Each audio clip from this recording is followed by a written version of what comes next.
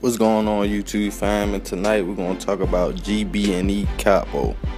Capo was a up and coming artist from Chicago, Illinois. He actually got signed to Chief Keef, Glo Gang, Glory Boys, whatever you wanna call it. Capo was blowing up in the game. You know, he had a lot of music. He was popping. He messed with the south side of Chicago. You know, he messed with Chief Keef and them, but he also messed with the east side, Lil Herb and them. You know, G Herbo, NLMB, Never Leave My Brothers Behind. Unfortunately, Capo was gunned down and killed in the east side of Chicago.